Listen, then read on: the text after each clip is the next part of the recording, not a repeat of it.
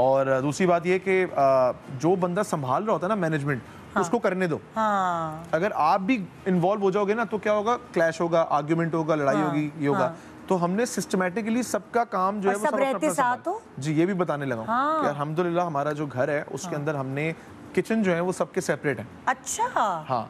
हम एक ही घर में है जॉइंट फैमिली है। हाँ। नीचे का जो पोर्शन है वो मेरे अंडर है हमारे अच्छा। अंडर है मतलब एमन की सरपरस्ती में अच्छा। उससे ऊपर जो एक फ्लोर है वो मेरी भाभी की सरपरस्ती में उसका किचन और उससे ऊपर जो एक फ्लोर है वो हमारी वालदा की सरपरस्ती में हाँ। किचन और उससे ऊपर जो है वो फिर हमने एक अपना गजीबो टाइप बनाया हुआ है जहाँ पे आउटडोर बारबेक्यू वगैरह की सेटिंग है तो जो लड़ाई की जड़ है ना जहाँ से फसाद शुरू होता हाँ। है वो वहीं से शुरू होता है कि भाई आज मैंने ये बनाना था तुमने ये नहीं बनाया फलाना मेरे जो मे- उसने ये सफ़ाई करेगी अभी पहले वो जो छोटी छोटी घर की इशूज़ होते हैं उसको इश्यूज़ को जड़ ही खत्म वाली कर दिया। ये वो सब सबका सिस्टम अलग अलग है। सबके Oh, सफ़ाई के लिए लोग जो आते हैं वो अलग है हैं। हाँ। सबका सिस्टम अलग है। वेरी रहे हम साथ रहे। ज़बरदस्त भाई।